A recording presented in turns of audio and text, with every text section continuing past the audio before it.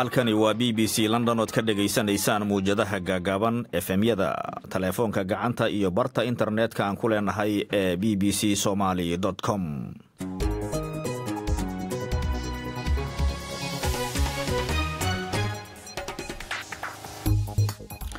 kulanti wacan oo wanaagsan dhegaystayaal dhammaantiinba waa habeen isniin oo talaada soo gelaysa kowda meey sanadka labada kun toddobiyo toban saacadduna waa sagaalkii habeennimo afrikada bari kuna soo dhowaada barnaamijka caawa iyo caalamka oo aanu ku soo qaadan doono. Wasiirka arrimaha dibadda ee jarmalka oo la kulmay ra'iisul wasaaraha soomaaliya booqasho uu ku tegay magaalada muqdisho. Wir sind ausdrücklich hier, um diese Regierung der nationalen Einheit, auch den Präsidenten zu unterstützen. waxaan doonayaa inaan si cad u sheego. Waxaan halkan u joognaa inaan taageerno dowladda midnimada qaran warbixin ku saabsan degmada waajid ee gobolka bokool oo in muddo ah ku jirtay go'doon. Ciidamada booliiska ee london. Sagaalkii bishii bishii saddexaad labada kun toban iyo afartii aan la wareegnay ilaa waktigaas degmada go'doon waaye ganacsatada dhuumalaysiya raashin lagu keenaa. Waa degmada waajid gobolka bokool guddoomiyaheeda oo ka hadlayey go'doon degmadaasi ay ku jirtay. Dhinaca kalena ciidamada booliiska ee london ayaa xabsiga waxa ay dhigeen saddex dumar ah oo lala xiriirinaya howlgalkii ka dhanka ahaa argagixisada ee toddobaadkii hore kaasoo booliisku markaasi ay sidoo kale ku toogteen qof kale oo dumar ah. Kongareeska maraykanka ayaa heshiis ka gaaray miisaaniyadda qarashka dowladda shanta bilood ee soo socota. Wararkii ciyaaraha iyo warar kaloo caalamka iyo soomaalida ku saabsan ayaad ku maqli doontaan. Barnaamijka caawa iyo caalamka oo ay soo saartay nacime maxamuud anigoo aadan saalamiinana idiin soo jeedinayo.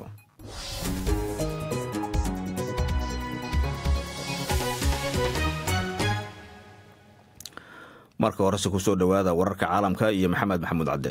Mahadsanid aadan musharaxa madaxtinimada faransiiska oo ay siyaasaddiisu dhexdhexaad ka tahay emmanuel macron ayaa weeraray siyaasadda musharaxa xisbiga midigta fog marin lepen oo uu ku tilmaamay inay u taagan tahay nacayb iyo rabshado mar uu la hadlayay dad isugu soo baxay magaalada baris waxa uu difaacay xiriirka ay xukuumadda faransiisku la leedahay ururka midooda yurub wuxuuna cambaareeyey qorshaha miss lepen ay ku doonayso inay dib ugu soo celiso dalka faransiiska lacagtii hore oo ay ku badashay yuroga taasoo uu ku tilmaamay inay dhaawac weyn u geysanayso heerka nolosha dadka.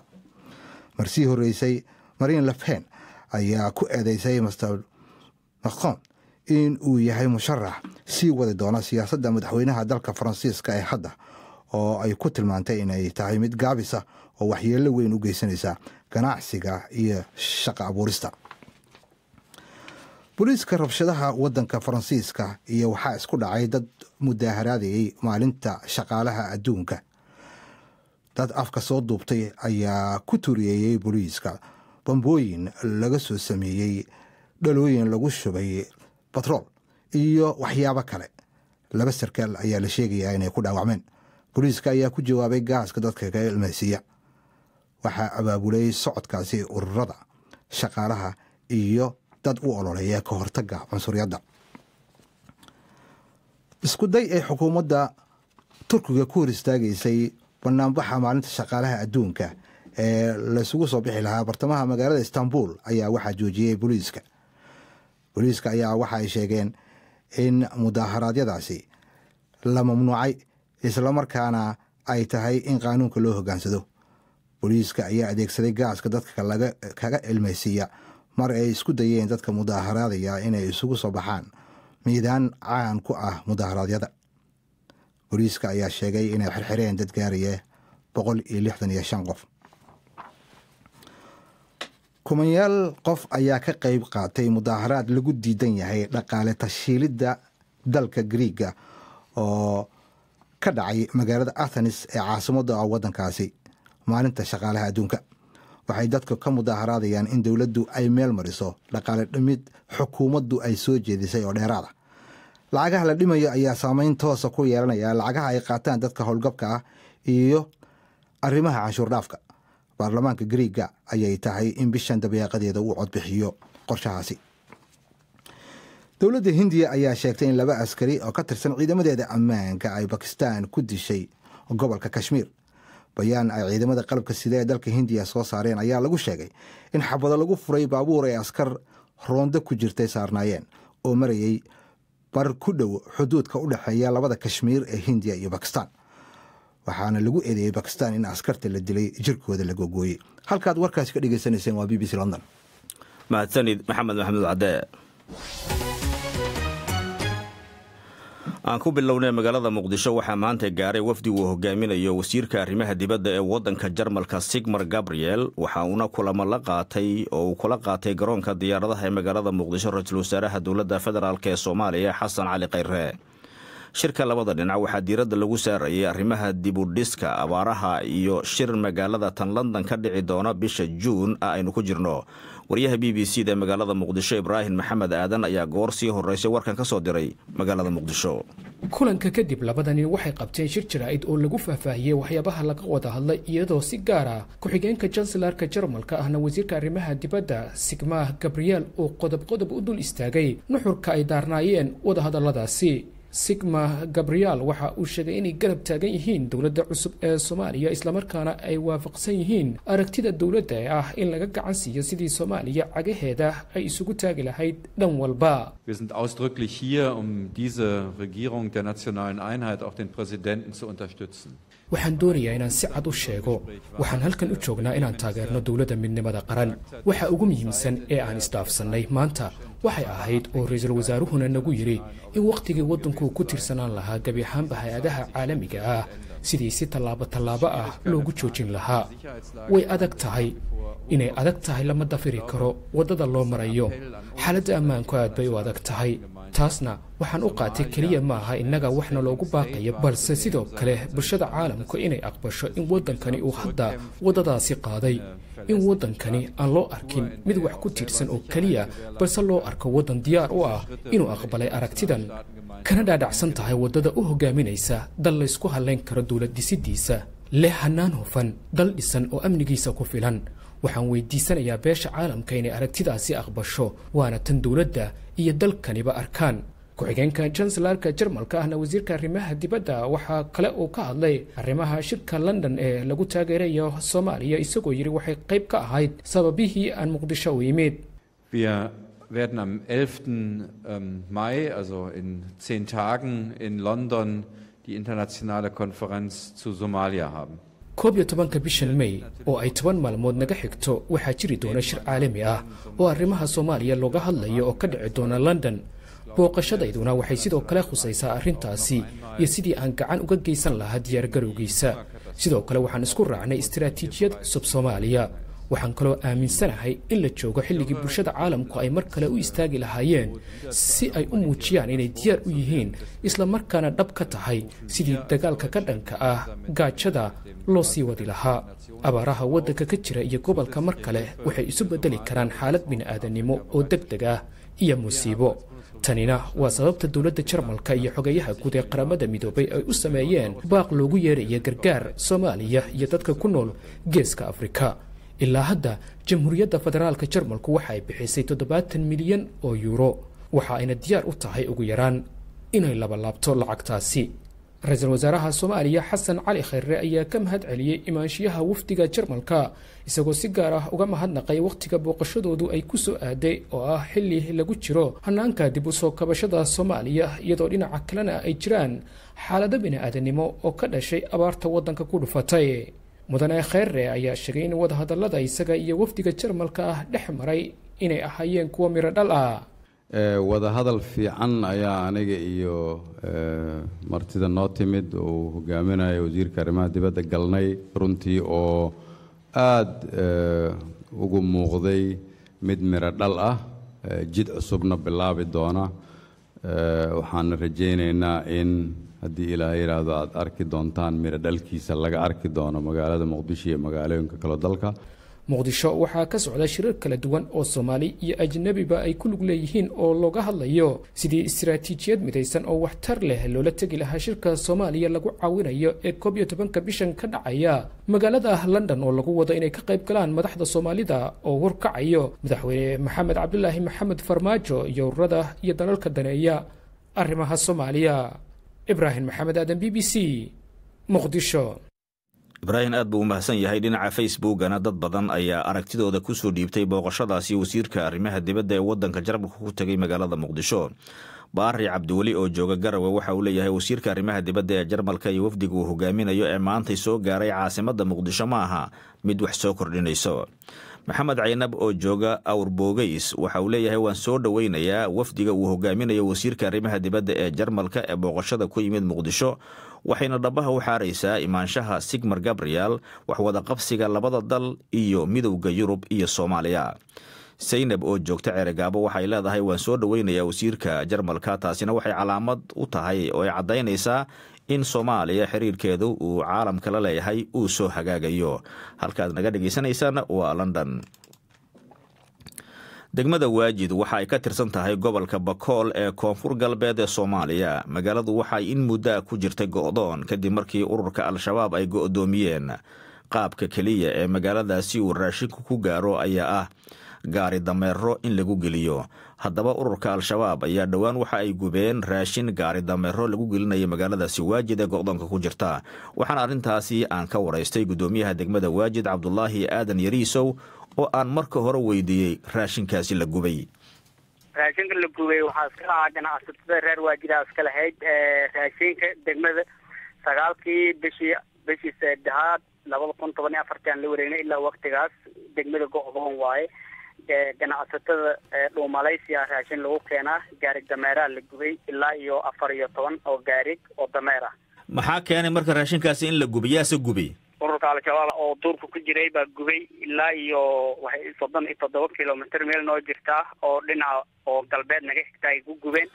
Dameeraha kuwa hadda la gubay laymahan oo toban iyo afarta gaarig hadda la gubay laymahan ilaa afartan iyo sideed gaarig bay ku noqon oo waajid erer hareerahe lagu gubay marka haddii magaaladii go'doon tahay xaggeebay wax idinka yimaadiin qaabkeese magaalada lagu soo gelaya raashinkaasi?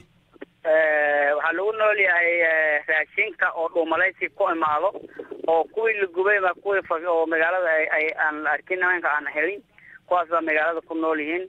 Adiga saddex kun goos oo w f c raashin diyaarad oo lagu keenayo oo iyo matarafiisha intaasaa lagu nool yahay iyo dhibaato iyo wax lagu keeno marka bal iga waran xaaladda magaalada waajid abaaro ba'ana guud ahaan dalka ay ka dhaceen waa sidee xaaladu hadda dadka ku nool ee gudaha magaalada waajid. Dadku way iska dhibaataysan yihiin dhibaato badan baa haysataa haddana ummadii shacabkii oo haddana oo baadiye ah shacabkii baadiye ku jiray baa hoolihii intay ka dhamaadeen. Abaaro ba'an ku dhacay oo kuwaasa haddana magaalada ku soo kaxay saddex bahooti saddex i d b baan ku samaynay. Ummadii oo baadiyada ah shaban biyood intay ku soo dhacay abaaro ugu darsantay hoolihii ka soo laadeen ba hadda waajid ku sugan dhibkaasay ku nool yihiin. Adiga wax oo gargaar ah oo haddana soo gaaray islamic relief iyo w s c oo raashinkan diyaarad ku keento antaasa haddana soo gaartay eedo kale oo maaragtay gurmud badan waan helnay laakiin kuma filan. Dhibaato badan baa ka jirta magaalada. Marka laga yimaado gaari darmeerada raashinka lagu soo geliyo si dhuumaalaysiya magaalada ma jiraan qaabab kale oo raashinku idinku soo gaaro? Maya maya. Qaab kale oo magaalada raashin ku soo gaaraya ma lahan. Dhuumalay dhuumalaysi besaa ku imaadaan. Hadday kolonyo waka dhow nooma imaanin kolonyo oo dhinaca baydhabo oo raashinkan oo wasaaradaha oo oo wasaaradda oo oo koonfur galbeed ay soo dirto arrimaha gudaha. Adiga koonfur galbeed dawladda soo dirtay oo nooga dambaysay adiga laba kun toban shantii roobabkii ayaa ka curtay meelo kala duwan oo soomaaliya. Marka waajid iyo nawaaxigeeda roob ma ka da'een? Haddii roobaa ku da'ay laakiin magaalada roob kuma da'in baadi laakiin roob badan baa la sheegaya. Ummadda adiga dhibaatay wixii oo faktay oo abaarta ka faktay ade waa waxaa la sheegaya inay hareeraha waajid roob dhaween laakiin magaalada roob weli kuma da'in magaalada waajid haddii aad iga fiiriso maadaama dad badan ay ku soo qaxeen go-doona ay ku jirto magaalada xagga caafimaadka haddii aad fiiriso wax dhakhtara ma ka shaqeeya magaalada. A dhakaatir oo xilligii shabanka shaban biyoodka socday ilaa hadda waa socdaa oo dhakhaatiir oo koonfur galbeed wasaaradda caafimaadka koonfur galbeed soo dirtay jooga dhakhaatiira hadda kuwaasa gurmud fiican sameynaya hadda gurmudkaas ay ku jiraan marka cisbitaal ma leedahay magaaladu oo dadku markaasi la seexiyo? A karantiil baan loo sameeyey karantiil wixii oo nutrition ah oo dhibaataysana gooni meel baa loo sameeyey m c h saddex m c h bay ka jirtaa. M c h daa la geeyaa. Kuwa oo shaban biyoodka ku soo dhacayna kolooraha oo waxaa u sameynay meel oo karantiil ah. Kuwaasna meeshaa lagu daaweeyaa ugu dambeyntii waa maxay baaqa aad jeedinaysaa maadaama aad tahay guddoomiyihii degmada waajid? Waxaan u jeedinayaa baag aan u dira dowladda koonfur galbeed iyo dowladda federaalka iyo hay'adaha humanitarianka kuwa islaamiga. Waajid kolley dhibaato badan baa ka jirtaa macluul badan baa ka jiraa inay gurmud la soo gaaro ama hindhaha ay ay inay imaadaan ay arkaan. Runta meesha taalla ay arkaan. Dad badan baa ay arkay kolley insha allah dhibaatadaas inay ummadan oo meeshan ku rafaasan inay loo soo gurmudo cabdulaahi aadan yariisow guddoomiyaha degmada waajid oo goor sii horeysay qadka telefoonka igu warramayay isagoo jooga magaalada waajid ciidamada booliska ee magaalada london ayaa xabsiga dhigay saddex qof oo dumar ah oo lala xiriirinaya howlgalkii ka dhankaha argixisada ee toddobaadkii hore kaasi oo boolisku ay sidoo kale ku toogteen qof kale oo dumar ah. Laba ka mid a haweenkaasi oo da-dooda lagu kala sheegay siddeed iyo toban jir iyo sagaal iyo toban jir ayaa la xiray maantay oo isniin ah kadib markii looga shakiyey in ay maleegayeen falal argagixisinimo arrintan ayaa waxay daba socotay howlgal kale oo ka dhana argagixisada oo khamiistii lagu fuliyey london kaasi oo guri ku yaalla xaafadda williston lagu toogtay haweenay koob iyo labaatan sano jir ahayd sida uu boolisku sheegay saddexda haweenka ah ee la soo qabtay ayaa waxa ay ku xiran yihiin meel ka baxsan magaalada london. Haweenkan ayaa la xiray kadib markii saraakiisha booliska ee la dagaalanka argixisada ay ruqsad u soo heleen in ay u dhacaan saddex guri oo ku yaalla bariga magaalada london. Haweenayda koob iyo labaatan sano jirka ahayd ee boolisku ay toogteen intii uu socday howlgalka ayaa laga saaray cisbitaalka maalintii axadda ahayd ka hor inta aan la soo xirin inta aan loo soo xirin abaabulka iyo maleegidda falal argixisnimo. Waxaa la rumaysan yahay in howlgalkaasi uu yahay kii ugu horreeyey ay ciidamada boolisku ku toogteen qof haweenay ah muddo ku siman toban sano iyada oo sannadkii labada kun iyo toddobadii ay ahayd markii aan sanderson lagu toogtay jaamacadda kenti lix qof oo kale oo lala xiriirinayo dhacdadan ayaa la xiray kuwaasi oo shan ka mid a ay ku sugnaayeen nawaaxiga williston halkaasi oo in muddo ahba ahayd oo in muddo ahba ay boolisku isku hayeen halka qofka lixaadna laga soo qabtay kenti. Halka aad ka dhegaysanaysaan aad naga dhegaysanaysaan waa london.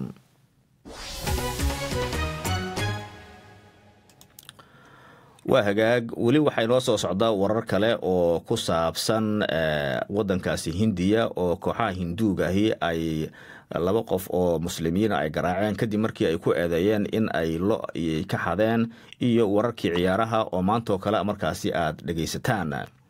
Markana wadanka maraykanka. Kongareeska maraykanka ayaa heshiis la gaaray miisaaniyadda qarashka markaasi dowladda shanta bilood ee soo socota si ay u fududeeyaan cabsida laga qabo in howsha dowladdu aanay istaagin.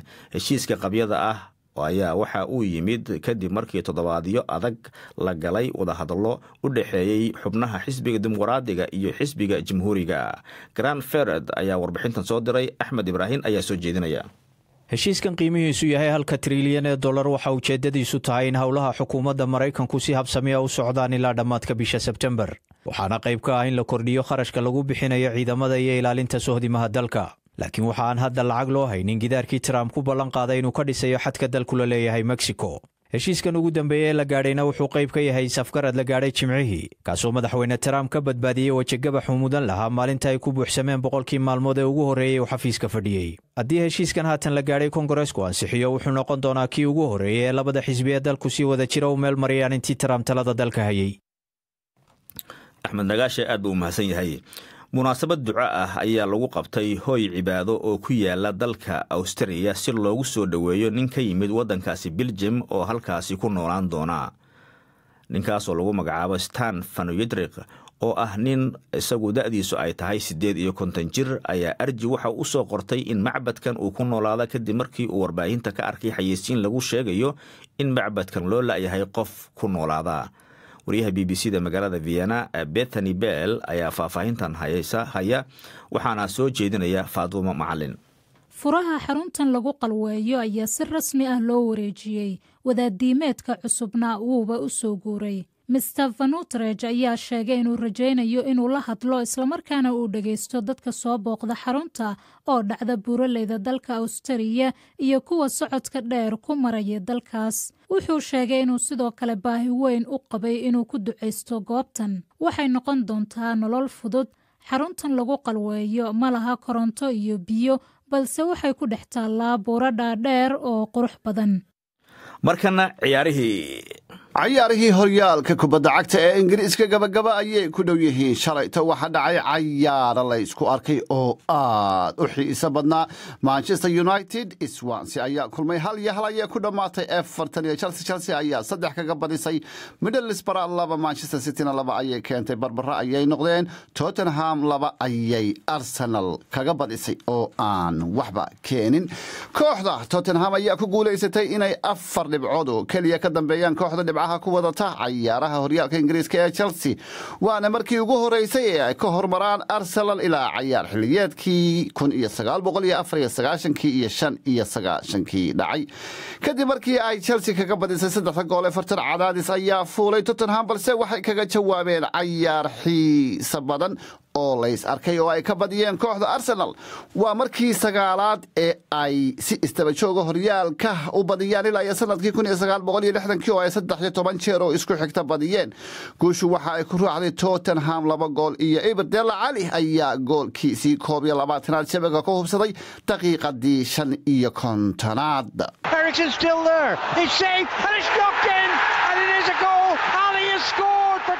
kadib maaha dhacay hee gabriel ayaa xanaaqay oo rigoore ayay tottenham laba gool iyo ibir ay guusha ku raacday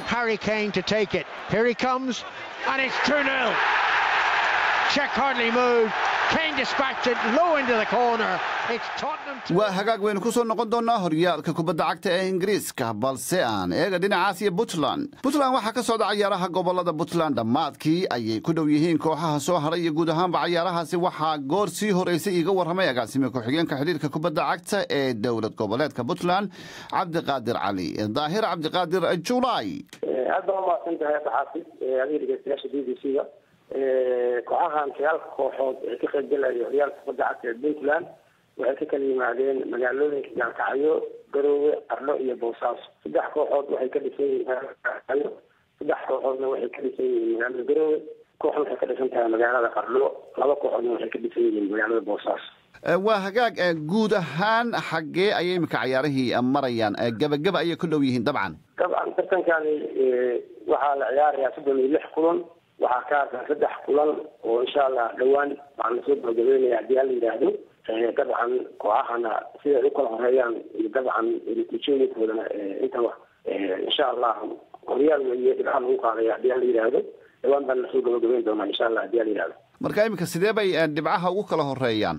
Hadeer comsted baa waxay leedahay afar toban dhibcood garowe city kow iyo toban dhibcood boosaaso s c oo kow iyo toban dhibcood leh horseed dhibcood hambogoro toban dhibcood s b c toban dhibcood bari sagaal dhibcood somtel sideed dhibcood ay leedahay qarno f c oo shan dhibcood leh.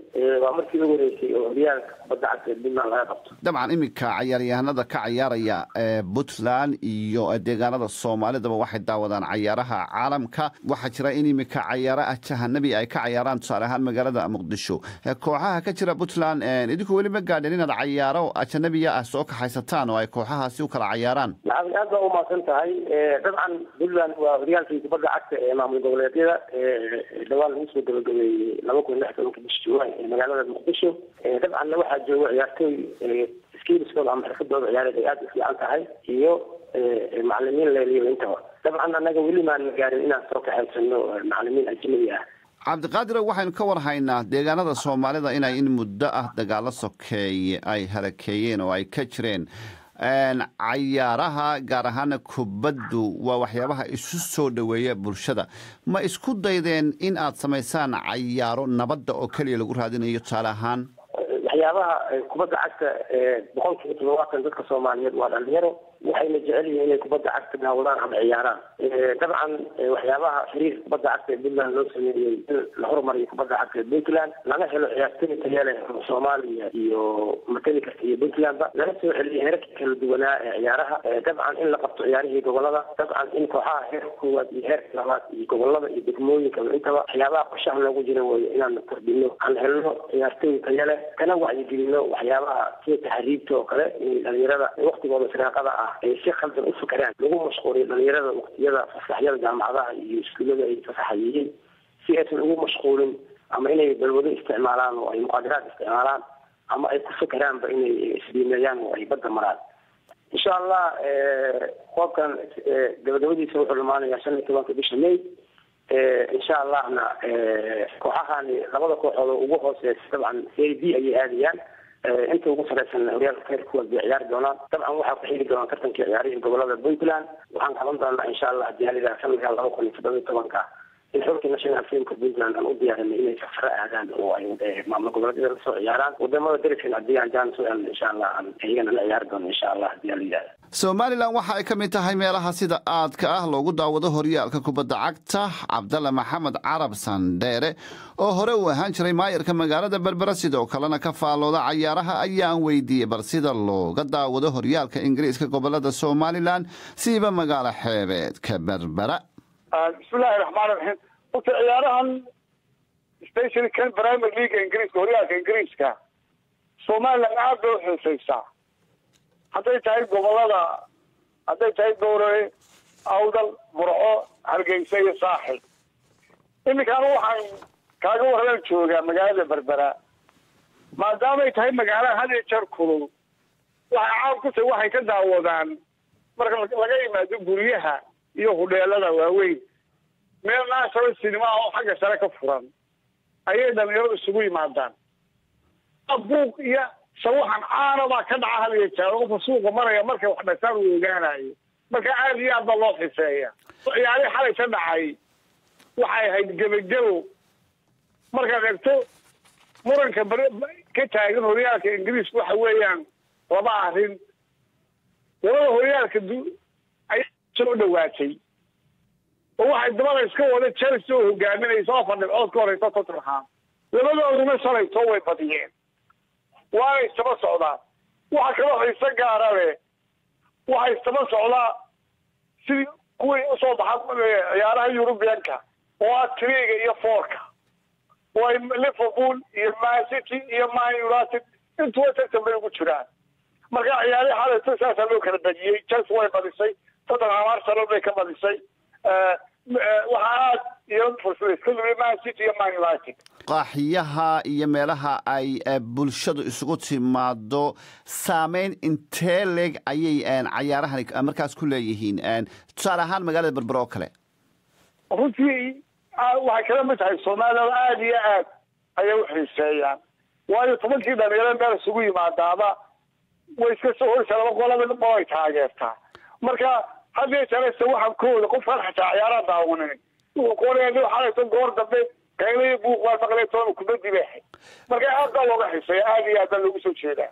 Kooxahee ayaad isleedahay cabdallow waa loogu taageero badan yahay midda kale laacibiinta aad isleedahay aad ayaa loo jecel yaho loo hadalhaya kuwee ayaa ka mid a waxa horta soomaalida markaan asafey ka qaaday runtii waxaad moodaa ama burca ahaato ama boorama ama hargeysa ama barbara ha ahaato kooxda ugu taageerada badan horta waa kooxda arsenal. Inkastoo sanadkan labaatankii sano soo dhaafay siday ahayd ugu liidatay ay yihiin oo laga yaabo inaanay koobka yurub sannadkii qaybgalon nambarkii lixaad ee maanta fadhiyaan waa looga xulays badan baa haysta. Laakiin ciyaarteedu waxay la gelaysaa dadweynaha waxa ciyaara ciyaar xirfadsan oo ciyaarta barcelona ciyaarto oo kale ah. Tabarbaraheedu waa wenger waa ruuqa caddaa waa cano waa la wada yaqaana laacibiinta iminka horyaalka runtii waxaa ku soo biiray laacibiin cusub. Iminka kolada hogaaminaysa chelsea waxay leedahay dhalinyaro fiican hasar oo kale ricosta oo kale fabrigas oo kale rag caana manchester united lafteeda laacibiin badan oo bogoba oo kale uu ka mid yahay rashford rag badan oo dhalinyaro lenker badan bay soo iibsatay caan waxaa sii ah isaguna laacibkan caanka ee reer chili ee sanchez oo ciyaara kooxda arsenal marka dhalinyaradu man united waa la taageeraa chelsea waa la taageeraa arsenal taasay taageera saddexdaas waa saddexda ugu caansan ee taageerada ugu weynaanta somaliland waa hagaag aad ayuu u mahadsan yahay cabdalla cala maxamed sandheere caawana waxaa wada ciyaari doona shan iyo toban daqiiqa kadib liverpool iyo watford. Barnaamijkaasi ciyaaraha ee cabdixaafid uu soo saaray ayaa ugu dambeeyey guud ahaanba barnaamijkii caawiya caalamku ay soo saartay nacimo maxamuud anigoo saalamiina aan soo jeedinaya tan iyo kulantin dambe. Sidaas iyo nabadgelyo